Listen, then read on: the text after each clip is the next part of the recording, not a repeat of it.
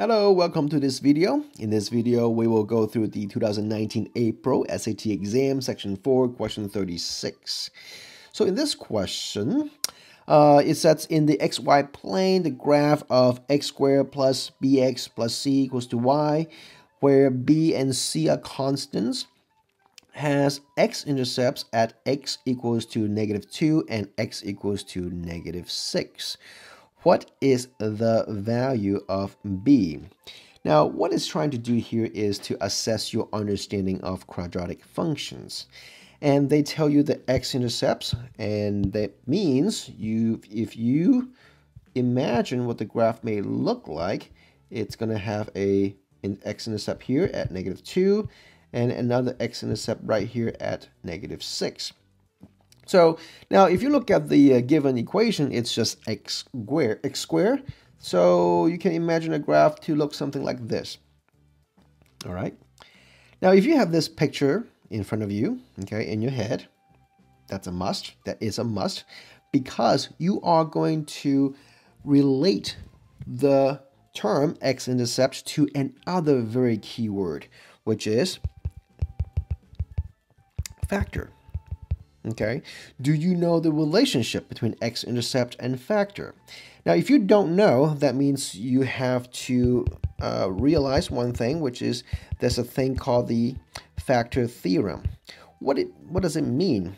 It means that if if f of a number a it's equal to zero, then x minus a is a factor.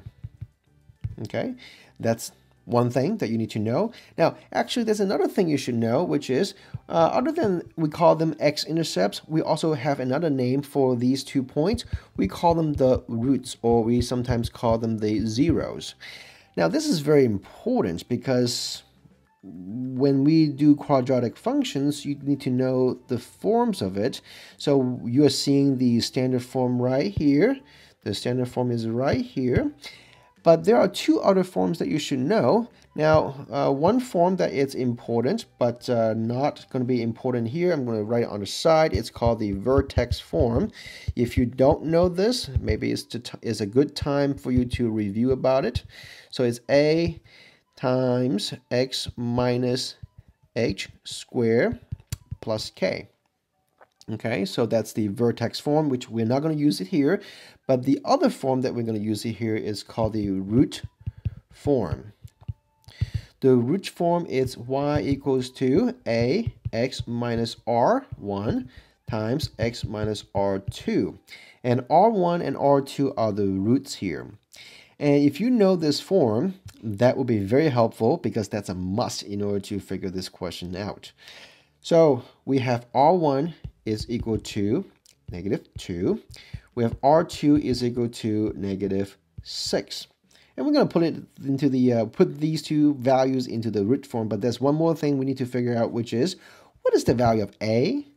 Well, the value of A is going to be the leading coefficient in front of the x squared.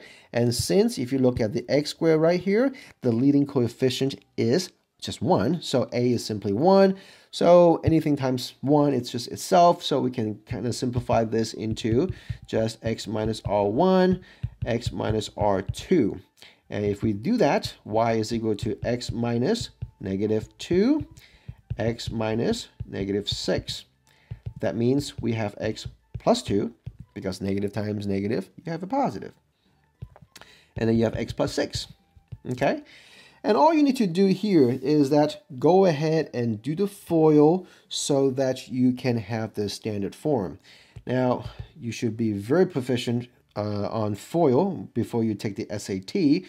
So I expect you to know how to do this very, very quickly. Okay. And what is the answer for B? Well, B is the coefficient uh, sitting right in front of the X. So what is the number sitting right in front of the X? Number 8. So the answer is going to be just 8. So, so what's going on here uh, if I want to do a recap?